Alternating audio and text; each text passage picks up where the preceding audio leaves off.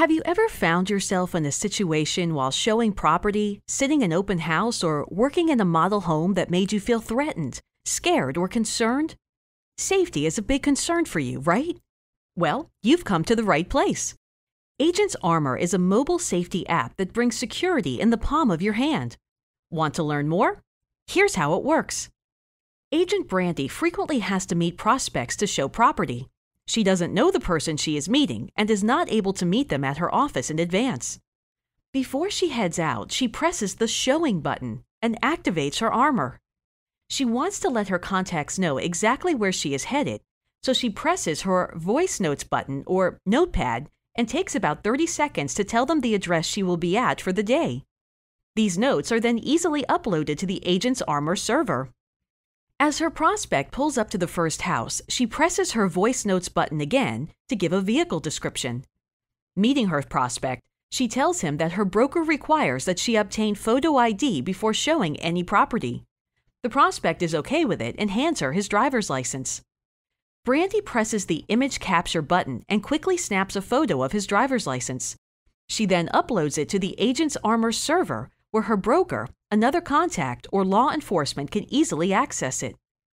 If the prospect has said no, she probably would not want to have gone into the house with him anyway. Brandy shows him the house, and Agents Armor checks in with her about 30 minutes later, exactly when she wanted. She is okay, so she enters her PIN code and presses, I'm okay.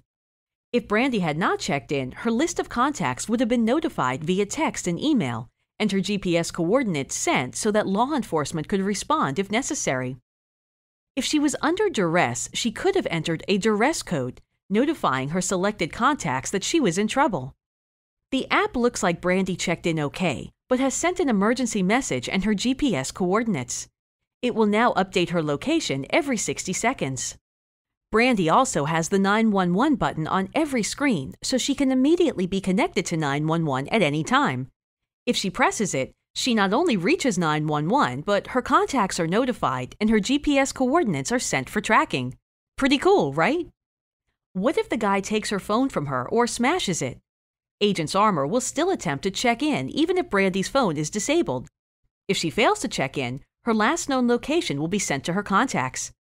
It's a good thing she took that 30 seconds to leave that note letting everyone know where she was headed. Some of you guys might think you don't need this app, right? But guess what? 30% of all crimes committed against realtors are committed against male realtors. Didn't know that, did you? Why? Because one of the primary motives in crimes against realtors is robbery. And you guys have money too, right?